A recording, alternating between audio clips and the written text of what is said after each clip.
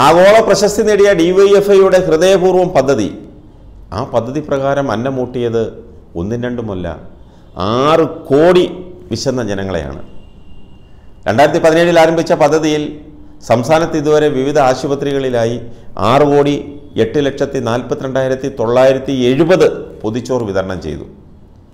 Medical കോളേജുകൾ ഉൾപ്പെടെ വിവിധ ജില്ലകളിലെ അൻപത്തി ഒൻപത് ആശുപത്രിയിലെ രോഗികൾക്കും അവരുടെ കൂട്ടിരിപ്പുകാർക്കുമാണ് സ്നേഹപ്പൊതി നൽകിയത്.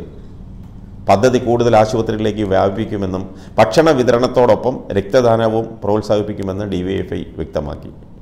പ്രളയം കോവിഡ് മഹാമാരി തുടങ്ങിയ പ്രതിസന്ധികളിലൊന്നും തളരാതെ മുഴുവൻ ദിവസവും അന്നം എത്തിക്കാൻ ഡിവൈഎഫ്ഐ പ്രവർത്തകർക്ക് കഴിഞ്ഞു എന്നുള്ളതാണ് ഓരോ ദിവസവും ഓരോ മേഖലാ കമ്മിറ്റിക്കാണ് പൊതിച്ചോറ് എത്തിക്കാനുള്ള ചുമതല.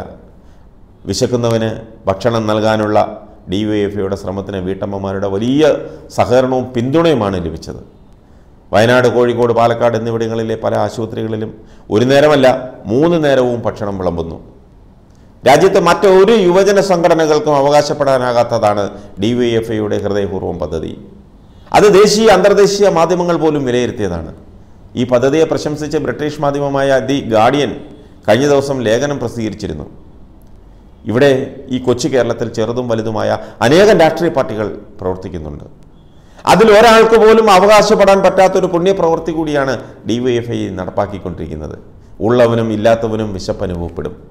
അത് തിരിച്ചറിഞ്ഞ് ഇല്ലാത്തവന്റെ വിശപ്പകറ്റാൻ മനസ്സ് കാണിച്ച ഡി വൈ എഫ് ഐക്ക് കൊടുക്കാം ബിഗ് സലൂൺ. വെറും രാഷ്ട്രീയ പ്രവർത്തനം മാത്രമല്ല ഇങ്ങനെയും ചില കാര്യങ്ങൾ കൂടി ഉള്ളതുകൊണ്ടാണ് യുവജനങ്ങൾ ഡി യു എഫ് എയെ ഇഷ്ടപ്പെടുന്നതും അതിന്റെ ഭാഗമാകുന്നതും. കോവിഡ് കാലത്ത് നമ്മൾ കണ്ടതാണ് ഡി യു എഫ് എയുടെ പ്രവർത്തനം. ഇനിയും ഇതുപോലെയുള്ള ജനോപകാരപ്രദമായ പദ്ധതികൾ നടപ്പിലാക്കാൻ ഡി യു എഫ് എക്ക് കഴിയട്ടെ എന്നാണ് ആശംസിക്കുന്നത്.